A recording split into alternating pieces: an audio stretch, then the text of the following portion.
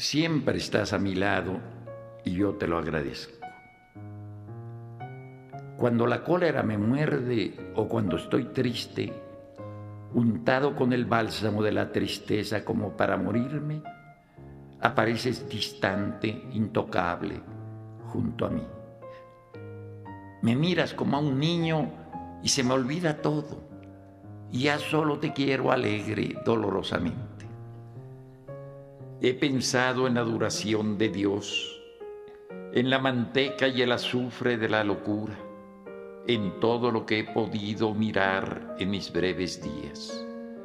Tú eres como la leche del mundo. Te conozco, estás siempre a mi lado más que yo mismo. ¿Qué puedo darte sino el cielo? Recuerdo que los poetas han llamado a la luna con mil nombres, medalla, ojo de Dios, globo de plata, moneda de miel, mujer, gota de aire. Pero la luna está en el cielo y solo es luna, inagotable, milagrosa como tú. Yo quiero llorar a veces furiosamente por no sé qué, por algo, porque no es posible poseerte, poseer nada, dejar de estar solo con la alegría que da ser un poema o con la ternura que en las manos de los abuelos tiembla, te aproximas a mí y me construyes en la balanza de tus ojos, en la fórmula mágica de tus manos.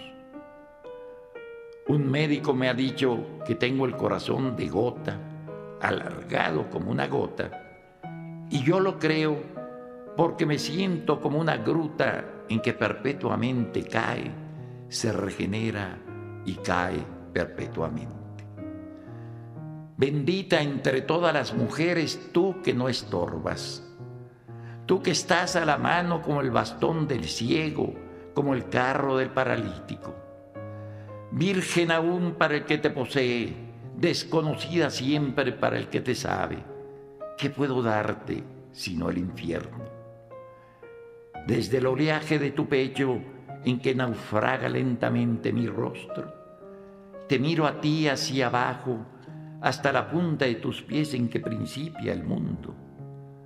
Piel de mujer te has puesto, suavidad de mujer y húmedos órganos en que penetro dulcemente, estatua derretida, manos derrumbadas con que te toca la fiebre que soy y el caos que soy te preserva mi muerte flota sobre ambos y tú me extraes de ella como el agua de un pozo, agua para la sed de Dios que soy entonces, agua para el incendio de Dios que alimento.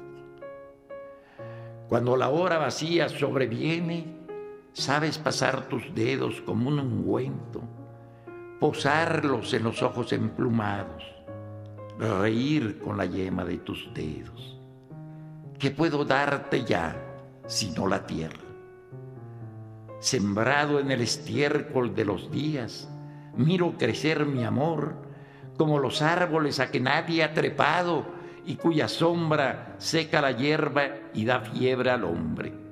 Imperfecta, mortal, hija de hombres verdadera, te usurpo, ya lo sé, diariamente, y tu piedad me usa a todas horas y me quieres a mí y yo soy entonces como un hijo nuestro largamente deseado.